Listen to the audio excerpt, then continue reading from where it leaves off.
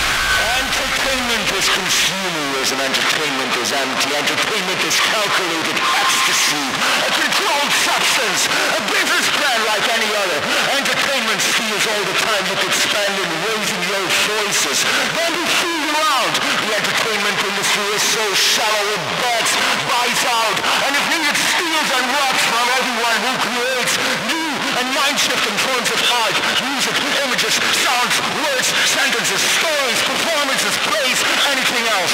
Don't be tricked Support those who are brave enough to walk different path.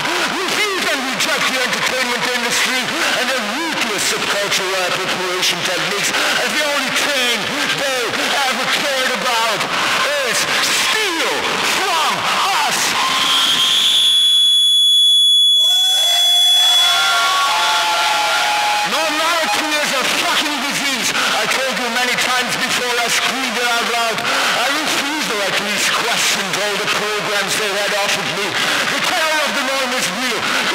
society has a standard. The norm, which shifts with the political tendencies, the norm is nothing more but a tool which supports all running political ruling forces. What is your norm? What is theirs? In a global reality, we have to live our lives and there cannot be one norm any longer. We all have multiple identities which we carry around, and we have to switch identities all of the fucking time. We can. We have to. What is the norm in group A? It can be completely different from what is the norm in group B. Fear those who only talk about one norm. Those forces will judge you according to their narrow-minded and politically driven unidirectional view on how a human should be. To fit in, but